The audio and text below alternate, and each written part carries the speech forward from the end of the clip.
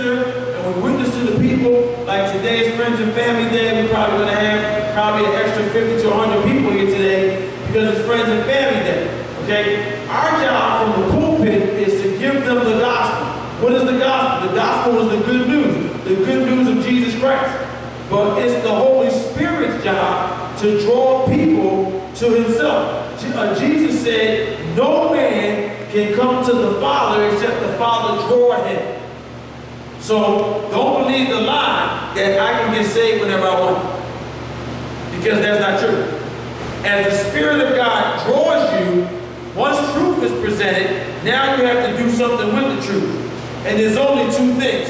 You either accept the truth or you reject it. That's it. There's no way, you know what? Let me think about it. And, no. Once the truth is presented, you will then be confronted to make a decision.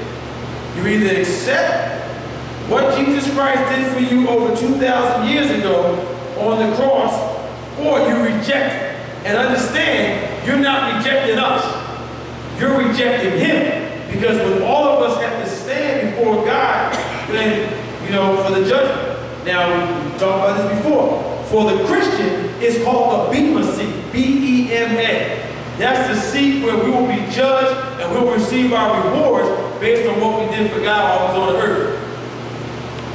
There's another judgment. This is the great white throne judgment. That is for the non-believer. All of those that rejected God, they will have to be judged and then they will be sentenced to eternal death forever. Now, let's um, bring this also. Here's the other part. The other point is everything that happens is through faith. Faith. F-A-I-T-H. Faith. Everything in the Christian walk is all about faith. From the beginning to the end. And everything in the middle. Okay? This is the journey of faith. You start out in faith, you end in faith. That's how it works. Okay? So the Bible says that number one, believe in Hebrews 11, 1, it says, for it says, for the substance of things hoped for and the evidence of things not seen. That's what faith is. It is the substance, the tangibility of things hoped for, right? But those are things that are not seen. Hebrews 11, 6 says, For without faith, it is impossible to please God. It says, because when you come, first of all, you must believe that he is who he said he is. That's the first thing. That God says who he is, you believe that. And then you have to understand that he is a rewarder for those that diligently seek after him. That's why when people say they're trying to find God, he says if you're really looking for me, you'll run right into me. Why? Because I'm everywhere. Everywhere, omnipresent, all at the same time. I'm everywhere at the same time. Now, I can't be everywhere at the same time. I can be here, but if I got to go to LA or I got to go to Orlando, I get on the plane. When I touch down on the plane, I'm no longer here. I'm in Orlando. But Jesus and God and the Holy Spirit can be here in Philadelphia, be there in LA, and also be in Orlando all at the same time. Think about that.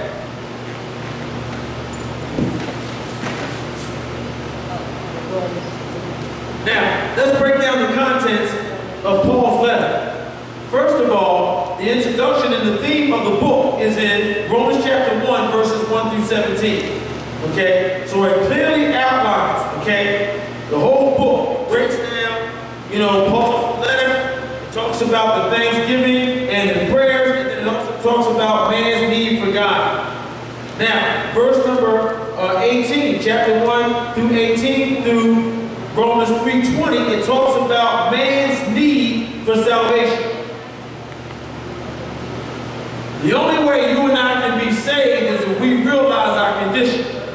See, if you don't realize your condition, you think you're all right. You go talk to most people out there, you start telling them about their sinner and all this crazy stuff, they look at you like something wrong with you. You know, don't let him be the guy that's living in a nice house. Driving a nice car. He everything he wear got labels on it. He can even show you he paid $200 for underwear. Who pays $200 for underwear? I don't know. I know I don't. He think he all right. He look at you and say, well, look at you, you know, you live in shack, you know, you're standing, you're taking 10 buses to get to the church. So why should I serve a guy like that? He's got you taking the bus. I have my Mercedes over here. All this crazy stuff. Which has nothing to do with nothing. But when you realize, though they might look poor physically, spiritually they're rich. You know why? Because everything we need is in Christ. Amen. He says everything that we need pertaining to this life and godliness, He's already provided for us. So He says, I'm going to give you everything you need, not only for this life, but for the life to come. See, the person that is caught up in the possession of the things, they're only caught up for the here and now. So they don't see past this. They just say, well, you know what? Everything must be all right. When the truth of the matter is they're not. So Paul makes it very clear that man is in need of salvation. Okay? The next point is uh, Romans 3.21 through 4.25 talks about God being the way of salvation. See, there's many ways to California. We talked about this last, you know, last week. There's many ways to California, but there's only one way to heaven. John 14, 6, Jesus says, I am the way, the truth, and the light. No man can come to the Father except by me. Jesus said, I am the door. He says, if you try to go around the door, go over the door, go underneath the door, he says, you come in as a thief and a robber. What happens to a thief? He gets locked up. And then what happens? You get tossed into jail. But in this particular jail, this is eternity jail. You're going to be tossed into hell forever. Why? Not because you rejected me, but because you rejected his son.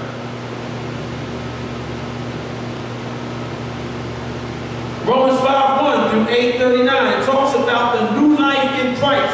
So you got to understand, 2 Corinthians 5, 17 says, if any man be in Christ, he is a new creation. Says, old things, your old life has passed away. He says, yet behold, all things have become new. Oh yes, we sing the song. I looked at my hands, my hands looked new. I looked at my feet, they did too. That's not true. Because if you had crusty feet before you got saved, after you get saved, you still got crusty feet. You just saved with crusty feet. He's a gold bond or something, I don't know. But the whole point is, the new you started on the inside of you, not the outside of you. Your outward frame is going to be the same. This body is temporal. Y'all remember that song Sam Cooke sang, The House I Used to Live In? Y'all anybody remember that song? He sang every freedom. Okay? When they talk about that, they talk about this shell. The Bible says you came from the dust, you going back to the dust. Right? It says your spirit, your spirit, your life source goes back to God. Every spirit goes back to God. Amen. That's your life source. But your soul will have an eternal resting place. That's why you got to make reservations now You can't wait till the day of when you're about to check out. Like I was watching this new, you know, this new series coming on, talking about these doctors supposed to be so smart. They want to know what happens after death. I might have seen some of the advertisements on TV. I said, listen, I don't have to watch TV to tell you that. I can tell you what's going to happen by reading the Bible. Amen. The Bible says for the Christian to be absent from this body and to be present with the Lord. What does it say for the sinner? It says in Hebrews 9, it says, when we die, after death comes the judgment. Hebrews 9 27. Okay? When we die, we're going to be judged. So I don't need no TV series to tell you what's going to happen after death. I can read the Bible and tell you what's going to happen. And the Bible to be more accurate than what the people tell you on TV. Well, when you died, what happened? Well, you know what? I saw a light. What kind of light did you see? That's the first thing. What kind of light did you see? Because they think when they go to hell, it's going to be like down there. No, it ain't. It's going to be dark. There's be wailing and gnashing your teeth. Who wants to go to a place like that? Where when you feel the heat, you can feel it, but you can't see it. And you're going to be tormented forever. Who wants to deal with that? Then, Romans 9, 1 through 11, 36 talks about God's magnificent game plan. That's where we at today. God's magnificent game plan. When Jesus first came to this earth, his purpose was to minister to the Jewish people. The Bible says in John, not the, God, not, not the uh, book of John, but the Gospel of John, it says he came unto his own, but his own received him not. John chapter 1, I think it's verse 14, says, To as many as receive him, to them he's given them the right, the power, and the authority to become the Son of God. But it's only to them that receive the gift. What gift are talking about? The gift of salvation. It wasn't cheap, but it's offered to every man freely. So if you receive the gift and take possession of the gift, the gift is now yours but you got to receive it. And how we get, and that is that God from the very beginning, even in the book of Genesis, when they had the fall in the garden, God's intent was to save mankind. But he came the Jews rejected the Messiah, the door was opened up for the Gentiles. So God already knew what he was doing. That's why he had to minister to the Jews first. Then in the book of Acts, when they allowed persecution to take place. Then it drove them out of Jerusalem. Then they went to the further places. You read Acts 1 8, it talks about that. He says, You're going to be witnesses unto me. First in Jerusalem, then in Judea, Samaria, and know, all the other parts of the world. So he drove them out because the Jews rejected him that opened up the door for us. And we went over some of the examples of some of the people who got saved even while Jesus was on the earth. Think about the ten lepers. Remember ten lepers? Remember ten lepers? They all came to Jesus and asked to be healed, right?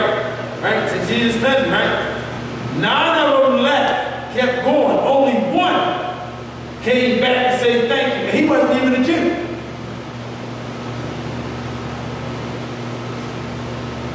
Jesus said one thing, go and show yourself to the priest. What happened? As they went, the Bible said that's a powerful, that's a powerful, powerful point. As they went, in obedience to what he said, he said, go and show yourself to the priest. As they were walking to the temple to offer up the offerings of Moses and all this other stuff, as they were on their way, they were walking and they were cleansed. But it was only one of them that recognized he was cleansed and he stopped, turned back, came, fell at Jesus' feet, place of worship, worshiped him, thanked him. And he said, wait a minute, something wrong here. Did I not heal tell y'all? But only this one came back to say thank you.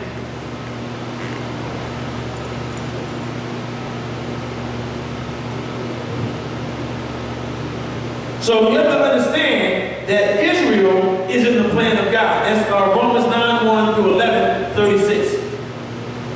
Israel is in the plan of God, even in the last day, when we are raptured up out of this earth. God has reserved 144,000 witnesses that will That's in the Word of God. Has it happened yet? No. Will it happen? Yes, it will. Just as God predicted. Israel is in his plan. God said Israel was the apple of his eye. Anybody heard this? Okay? So don't think that we can be saved without the Jewish people, because that's not true. Jesus was a Jew. He came to the Jewish line. He was a descendant of David. So he came with the very purpose to save mankind. But ultimately, people during the tribulation period, meaning the Jewish people, even us, Jewish people will be saved Then Romans 12, 1 through 15, 13 talks about the importance of Christian conduct. People say, oh, you know what? You can't judge me. Yes, we can. We're fruit inspectors. So me inspecting the fruit is not judging. If you've been telling me all year, you're an apple tree and I see lemons, wait a minute. Who told you it was an apple tree? Because I'm looking at the fruit, and the fruit says you're a lemon. Because that's what people judge us on, right? Amen. Conduct. Yes, yes. People look at how we behave, what we do, what we say. Okay? So a lot of that has to do with that. That's why you can't be cussing, drinking, smoking, and doing crazy stuff, and then want to tell people about Jesus. Because then it's you. They say, wait a minute, I'm gonna say something. You are doing the same thing that I'm doing. So what's so different about you than me? They say, well, only difference is, is you go to church and I don't. But as far as I see, we.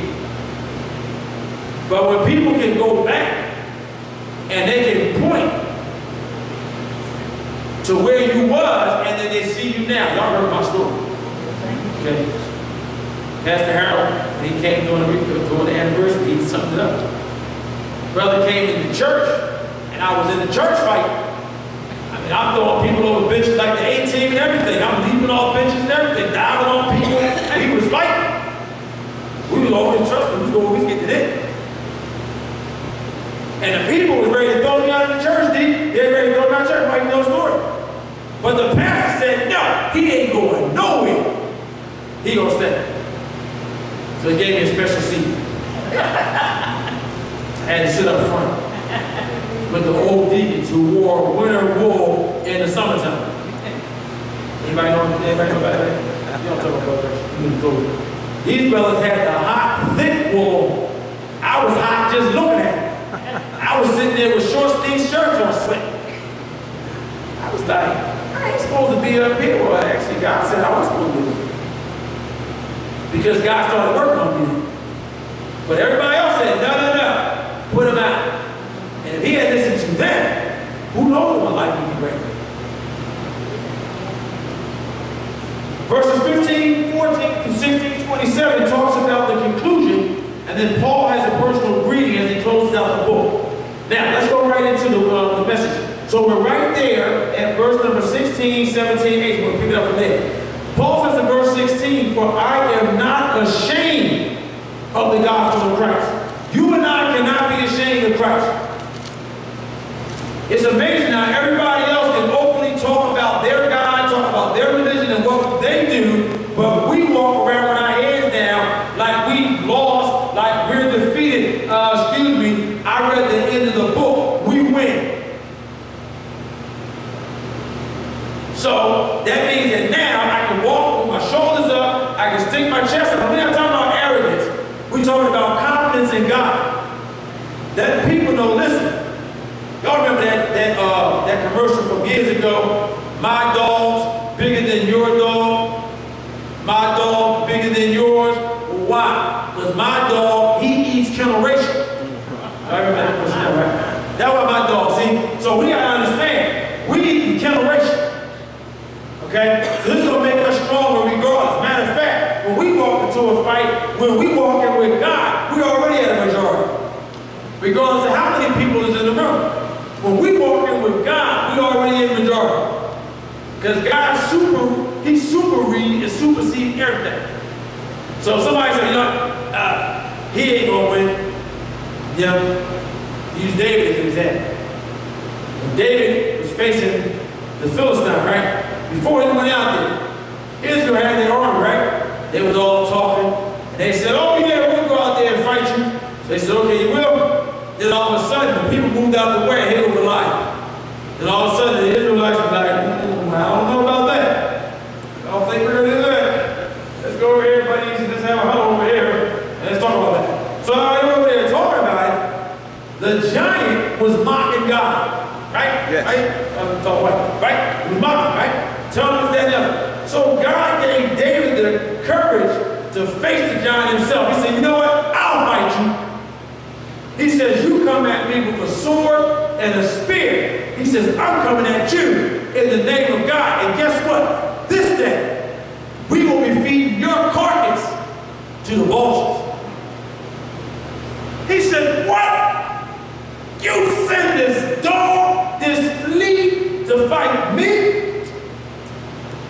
Come on, let's go. He's like, where you want with it? My shield is taller than you. I can lift ten of you and still have time to lift my sword and my and my shield. And I can defeat you. I can just kick the dirt and that'll be the end of David said, no. He said, Lord, guard my hand. When he let that stone go, the stone went right here, dead center, sunk in his head, and he fell in the rain. God gave David the strength when everybody who was around saw him take the lion's sword, use the sword that he was going to use on him, against him, and cut his head off. And then held his head and ran through the city. And the people were celebrating, saying Saul killed thousands, but David killed tens of thousands. So what happened? The Philistines left. They said, listen, if he was able to do that, we out. And they left. Man. We can't be ashamed. No, sir. Why we can't be ashamed? Because it says, for it is the power of God unto salvation. That's what it is. The gospel is the good news. So somebody goes, what's the gospel? It's good news. You watch the news, I guarantee you, I don't care if it's on for an hour, I don't care if they come on before 10, after 10, between 10, whenever they come on, they produce 99% of the news is bad news. Amen. Anybody right? Amen. Right? It's bad news. That's what they talk about. Every time you talk news, this happened, this brother got shot, this brother got robbed, this brother's house on fire, this, this, this, this, this. Then they come at the end. 99 year old lady graduated. Have a good night. we can be promoters of the good news channel. Yeah. You know why? Because we got good news. That's right. Regardless of where you are, guess what? If you're weak, Strength. If you thirsty, He can be your water. If you're hungry, He can be your bread. You need safety, He can be your security. That's good news. But when anybody wants that, no. You know why? Because their intent is to promote bad news. I can even prove it because in the church, how many people carry bad news faster than good news? Oh, yeah. Oh, yeah. Oh, yeah. As soon as we hear something about a brother or sister, we'll get on the phone real quick and talk about that. Amen. Right? It's true. We won't talk about good stuff. Oh, since so-and-so got blessed with a new car. God is working. He's doing this. He's doing that. He's doing the other. Never. That would be too much like, right, why talk about that? Did you hear Pastor Smith was stealing the money? I don't even know where the money is. you know, crazy stuff. They're, they're, you know, people are talking about that. Everybody, everybody in this side of town will hear about that. Right, right. Forget about the thousands and thousands of people you helped all in one way. Let's talk about the money. Everything. Amen. That's it. He says because is the power of God.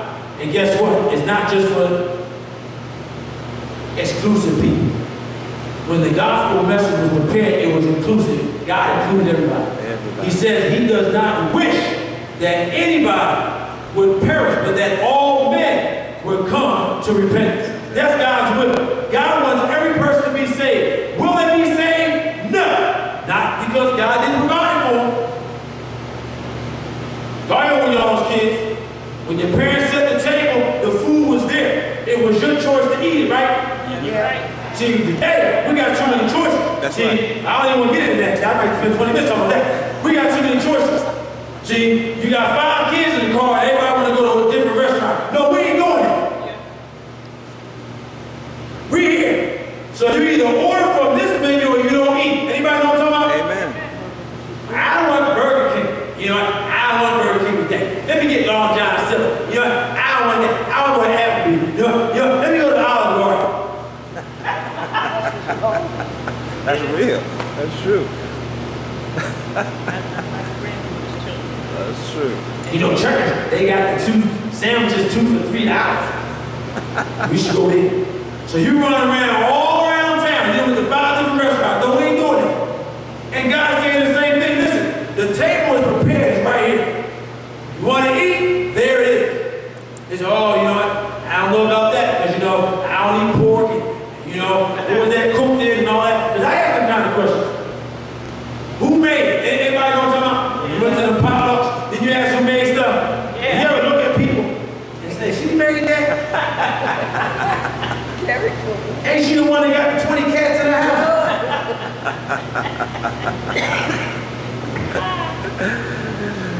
Oh man.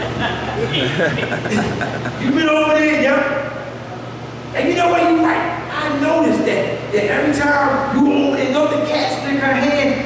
Don't she make them cookies by scratch? Don't we ask them kind of question? I'm gonna make sure it's not just me. No, it's not just you. No, it's not. Verse 17. He says, it's for the Jew first. About it. And they said, then it's also for the Greek. Jew first, then the Greek. That's the non-believers.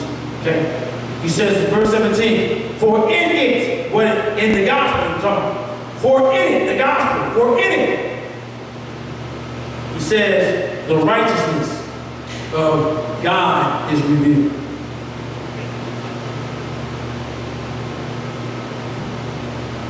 Ungodliness is sin against God's person. Unrighteousness is sin against God's will. That's unrighteousness. When we sin against God's will, that's unrighteousness.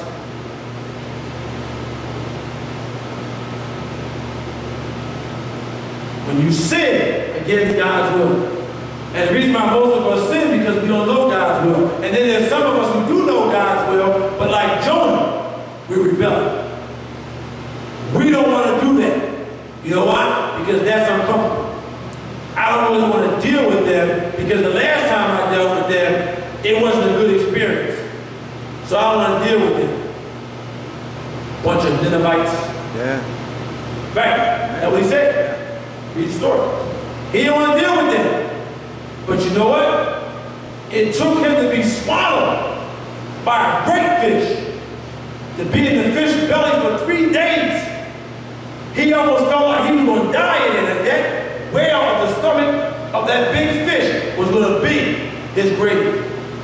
Then eventually he said, all right, God, I'll do it. And then the whale came and spit him out on the shore. Imagine that. Person come out, clothes all tattered, half their hair gone, CV wrapped around their neck.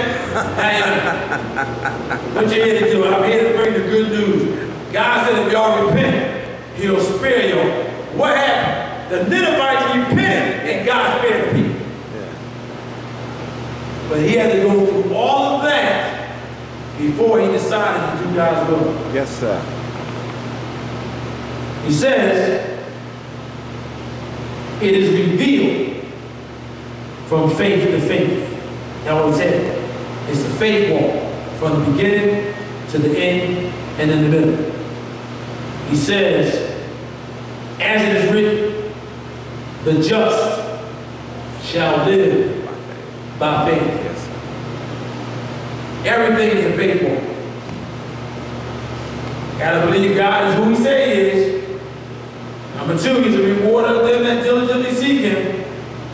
I know without faith, I can't please God. Paul, James said you can't be double-minded.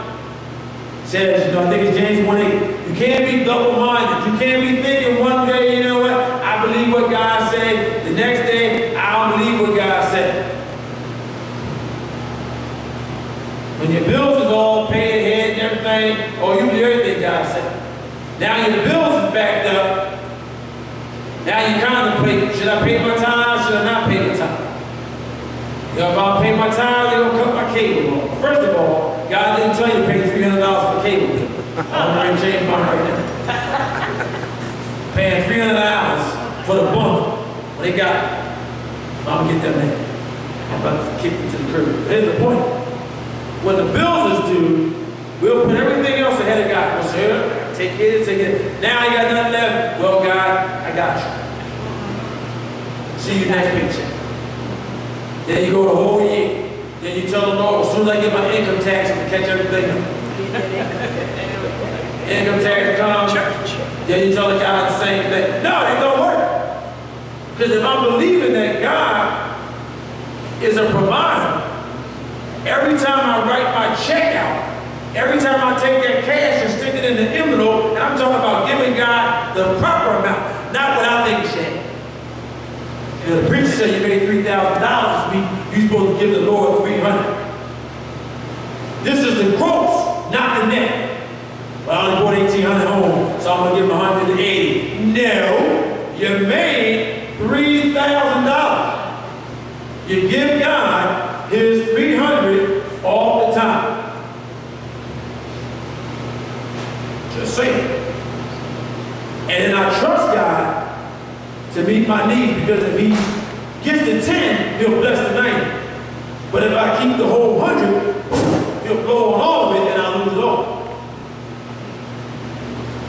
Now, he says, for the wrath, we're going to talk about the wrath of God. The wrath of God. The wrath of God. People don't talk about that. People say, you know, God's a loving God. How would God send me to hell?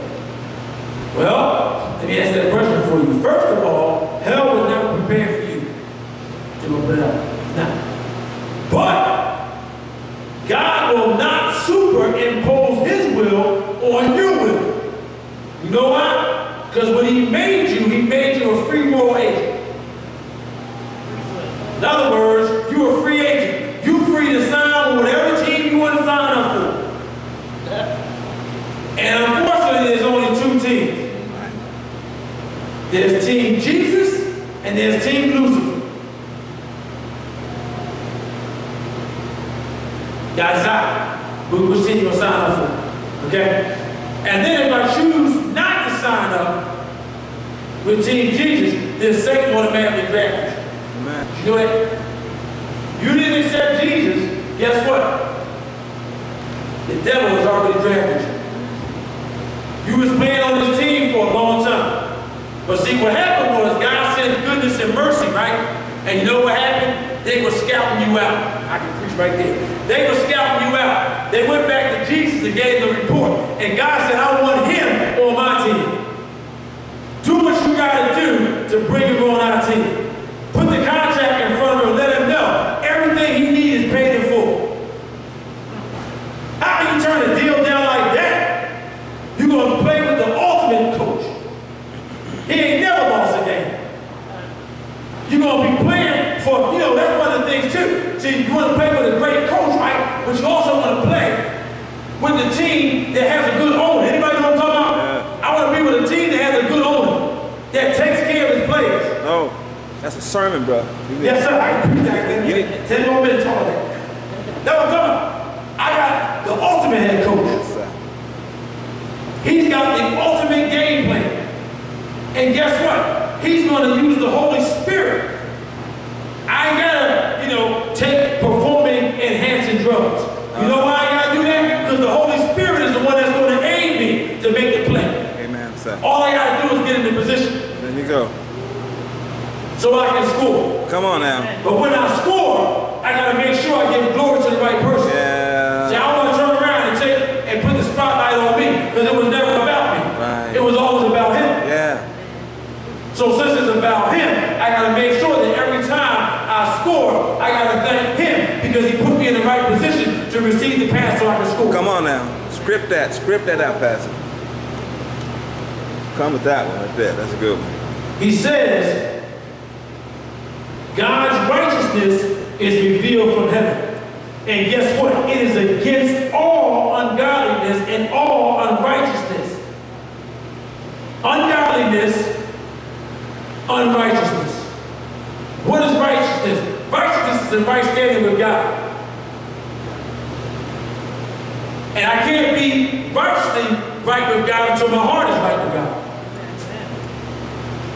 Because if my, my alignment is off, what's going to happen with your car?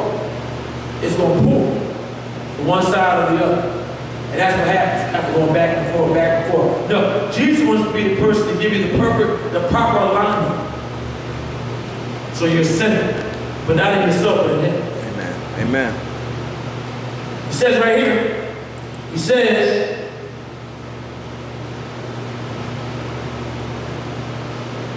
men who suppress the truth in unrighteousness.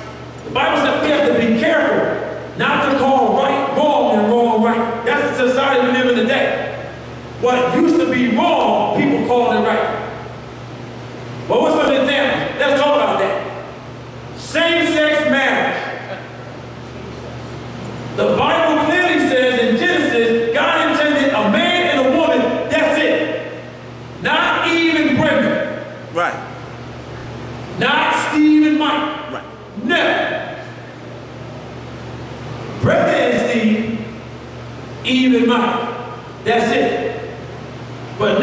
what we do is we say, you know what, that sounds good, but you know what? I think we should make our own laws. And guess what? Matter of fact, we're going to fight so hard till we get it to the Supreme Court, and then they'll make it the law of the land. And then they're willing to shut down every Christian business, every Christian church that don't support it. Well, I might as well just put it on the record since I'm going to take it. If any person come to me that's of the same sex and say, Pastor Smith, can you marry us? I sure can. Amen. Why is that? Because that's against what God said. Amen. It goes against all I believe, and I can't do it. Somebody don't marry you're right, just not me. Man, Amen. Verse 19. It says, got two minutes. It says, For the wrath of God is revealed from heaven, right? Now verse 19 says, Because what may be known as God is manifest in them, for God has shown it to them. So you gotta understand. People try to act like they're ignorant and they don't know nothing. Right. Truth of the matter is you do know something. Because when you woke up, meaning when you came into this world, right? As you grew up and you developed, you knew some things. Contrary to what people teach in fashion. They want to make the, the, the earth billions of years old, all crazy stuff. You know, they want to tell you about this, tell you about that. No. He says all you got to do is look around and you can see that if this was made, there was a designer. There was a creator. There was somebody who planned this out. Not the crazy stuff they told you that some planets exploded. We had this Big Bang theory and all this kind of stuff. And I tell people, yes, there was a Big Bang theory. Go to Genesis, chapter 1. It says, in the beginning, boom, God created the heavens and the earth. That's when the bang happened. When God spoke, things came to pass. Amen. Amen. That's when the bang happened. When God said, let there be, be became. That's what we're talking about. He says, you do know. All of us were born with light. We just decided, listen, you know what? I don't want that light. So I'm gonna blow it out. Y'all know what I'm talking about. When you was doing your do, when you was out there doing your thing. How many people want to do stuff with the lights on? Oh yeah. I'm glad, well, you the only one. Every time I want to do something, turn that light out. Yeah. Am I right? That's right. Now that's Turn that right. light out. But see, what I didn't realize was that God can see a black ant on a black hill in a black night. Come on, sir. So it don't get too dark when God can't see you. Even though we think he can see. Anybody ever went somewhere and told Jesus to stay outside? I, you know what? I know I really go in. But you know what? Hey, hey, Jesus, let me go ahead and handle this. Right, Keep watch door. Who does that? People do it though, brother. All of us did. Yes, sir. We all tell the truth. We all did. Yes, sir. Right? So then he says, and we close, for since the creation, right, of the world, his invisible attributes are clearly seen. Amen. The visible, the invisible things of God, we now see them. I remember when I was growing up, there were certain things we just didn't do, especially on Sunday. Some of y'all might not talk. This is even before I got saved. Y'all remember the streets, people went to church. I didn't necessarily go to church, but people went to church. Okay, before I got saved, though. And people kind of hung around, right? Doing their own thing, whatever it is. But you ever notice when you got there to church, you didn't cuss? Anybody know what I'm talking about? Yeah, yeah, yeah. You was cussing like yourself. When you got to the church, said, hold on, y'all.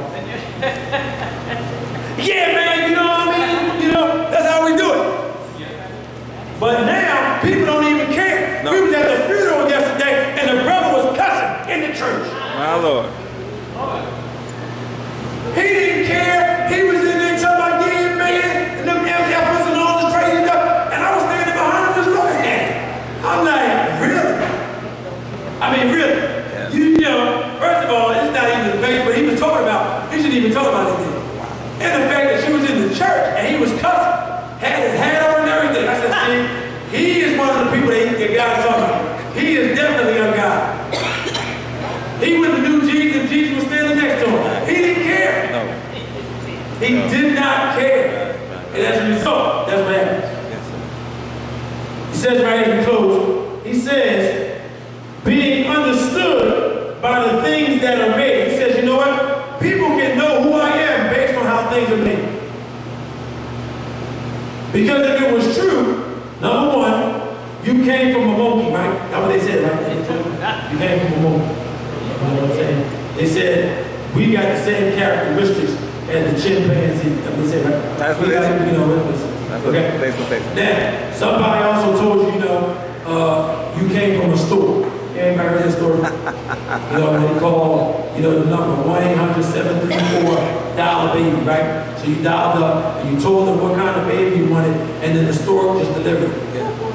Well, if that was all true, why did it all stop? Right, right, right. If I was a monkey, right? That's what they said, I evolved. If I was a monkey, where did my tail go?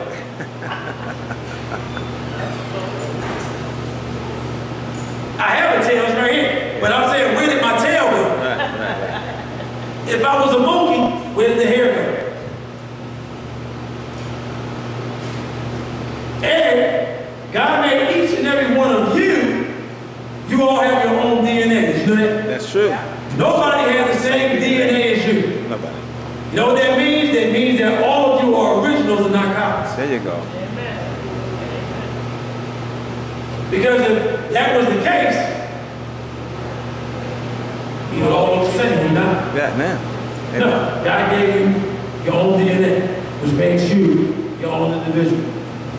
He says right here, we're done. He says, even his eternal power and Godhead, so that they are without excuse. What's he talking about? Nobody will ever be able to say on the last day, when you're standing before God and have to give an account for the deeds that we did in this body on this earth. Nobody, doesn't matter. You could be in a long, a long way in some remote island, you never heard about Jesus, you can't even use that as an excuse for why you never got saved.